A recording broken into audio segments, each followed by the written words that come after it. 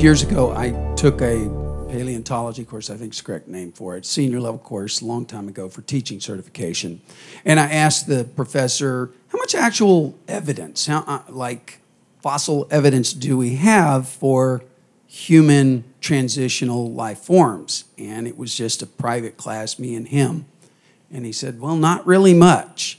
I'm wondering, in the time since I took that class to now, are there like hundreds of possible, you know, hundreds of transitional forms that are supposed to come into human beings. Has that now been, uh, you know, shown up? Do we have large masses of stuff that we can look at?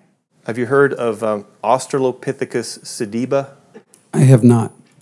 So when you asked your professor that question, there was no, there's, this sediba wasn't around. Correct. So this is Lee Berger, the famous from South Africa paleoanthropologist.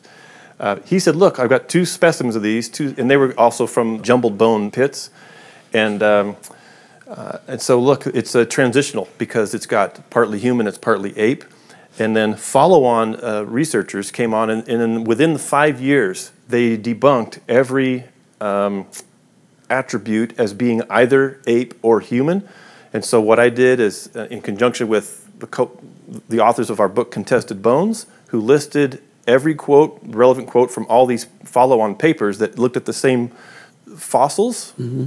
uh, and compared them to known apes and known humans and said, this part is ape, this part is human. We compiled that to make this map, and you could see the result.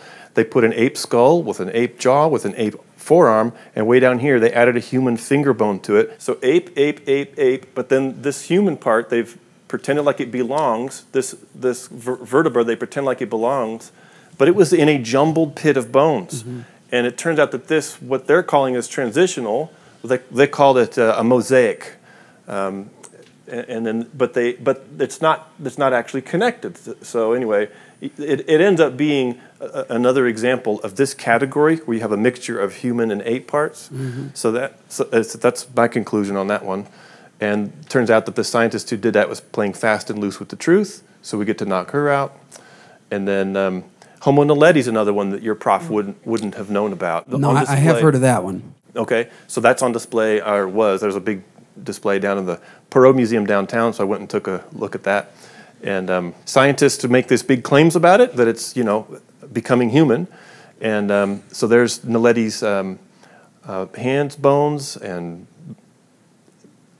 there's there's my photo of Naledi's hand and arm, Mm-hmm. It's very human like. In fact, it's very human like. Uh, and then follow on papers, since he published, Lee Berger published on Naledi, follow on papers in um, Journal of Human Evolution have compared its pelvis and found out that it's just a tiny pelvis, human pelvis.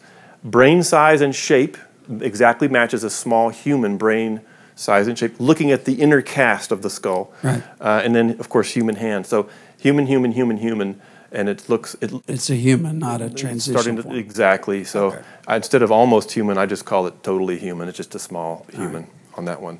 So those are some that he wouldn't have said. But again, these additional examples fit into the same categories that that they always seem to fit into. It's either a dead animal, a dead human, mm-hmm. or it's a mixture of, of the two. And that's what we keep seeing over and over again. Okay. Thank sorry, you very much. Sorry for over answering your question. No, but thank you for letting me show all my extra slides.